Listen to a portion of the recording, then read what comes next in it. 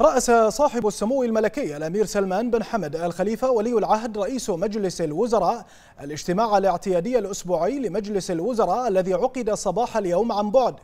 وفي مستهل الجلسة أكد مجلس الوزراء بمناسبة الأسبوع العالمي للتطعيمات على أهمية التطعيمات في تحصين المجتمع وضمان صحة وسلامة أفراده. منوها المجلس بمسار الحملة الوطنية للتطعيم وما حققته من نتائج ضمن جهود التصدي لفيروس كورونا وحتى على أهمية المبادرة بأخذ التطعيم كونه إلى جانب الالتزام بالإجراءات الطريق الأمثل للوصول إلى التعافي التام. ثم نوه المجلس بجهود غرفة تجارة وصناعة البحرين ومبادراتها في تطوير النشاط التجاري والتنمية الصناعية. وقرر المجلس تشكيل فريق عمل برئاسة سعادة وزير الصناعة والتجارة والسياحة لدراسة ومتابعة تنفيذ توصيات غرفة تجارة وصناعة البحرين التي عرضتها خلال اجتماعات اللجنة الاقتصادية المشتركة بين وزارة الصناعة والتجارة والسياحة والغرفة. بعدها أعرب المجلس عن أصدق تعازيه لجمهورية مصر العربية الشقيقة رئيسا وحكومة وشعبا في ضحايا حادث القطار بمحافظة القليوبية. داعيا المولى عز وجل يتغمد الضحايا بواسع رحمته وأن يمن على المصابين في الشفاء العاجل. ثم نظر المجلس في الموضوعات المدرجة على جدول أعماله وقرر ما يلي.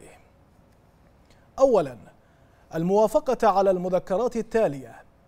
مذكرة اللجنة الوزارية للشؤون القانونية والتشريعية بشأن طلب الموافقة على توقيع إطار التعاون الاستراتيجي والتنمية المستدامة 2020-2022 بين وزارة الخارجية والمنسق المقيم للأمم المتحدة لدى مملكة البحرين والذي يهدف لتطوير مسارات التعاون بين الجانبين لتكون مواكبة لبرنامج الحكومة 2019-2022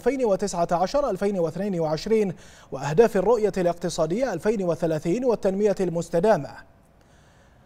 مذكرة اللجنة الوزارية للشؤون المالية والاقتصادية والتوازن المالي بشأن مستجدات مشروع شرق سترا الإسكاني وما تضمنته من إجراءات للإسراع في وتيرة التنفيذ والإنجاز.